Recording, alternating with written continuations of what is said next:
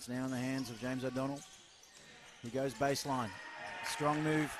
Gets the scoring underway. COE on the right wing. Defense is a factor. Crew. Not this time though. To Fennell. Luke. Chapman well guarded, but a great pass inside. O'Donnell. Lovely work there by the COE. Goodman to Dent. Akamamoy on his hammer. Dent goes in strong. And a rejection and a foul. Oh, wow. Lovely sequence by the crew. It's a six point margin. Dent. Lovely handoff to O'Donnell, who puts it in off the glass.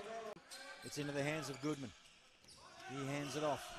Fennell, who had the hot hand in the third quarter, again tries and a lovely tip in by James O'Donnell.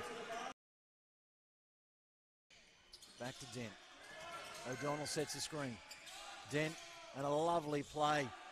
Well, just a great recognition between Dent and O'Donnell. Big clash. Seth Chapman gets Goodman. smashed with that punch screen.